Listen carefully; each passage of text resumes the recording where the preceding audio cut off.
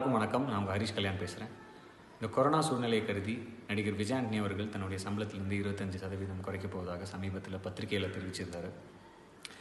ப்ரொடியூசர்ஸோட நலன் கருதி அவர் எடுத்திருக்கக்கூடிய இந்த முடிவு ரொம்ப ஆரோக்கியமான ஒரு முடிவு.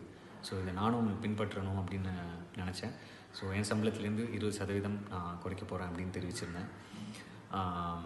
நான் ஒன்றும் பெரிய சம்பளம் வாங்குற ஒரு பெரிய ஹீரோலாம் கிடையாது. பட் இருந்தாலும் என்னை வச்சு படம் எடுக்கக்கூடிய தயாரிப்பாளர்களுக்கு ஏதோ ஒரு விதத்தில் இது பெனிஃபிட்டாக இருக்கும் அப்படின்னு நான் நம்புகிறேன் இதை தொடர்ந்து இயக்குனர் ஹரி அவர்களும் தன்னுடைய சம்பள குறைவை பற்றி சமீபத்தில் பத்திரிகையில் தெரிவிச்சிருந்தார். ஸோ இந்த மாதிரி எல்லாருமே முன்னுக்கு வந்தாங்கன்னா ரொம்ப நல்ல விஷயமாக இருக்கும்னு நினைக்கிறேன்.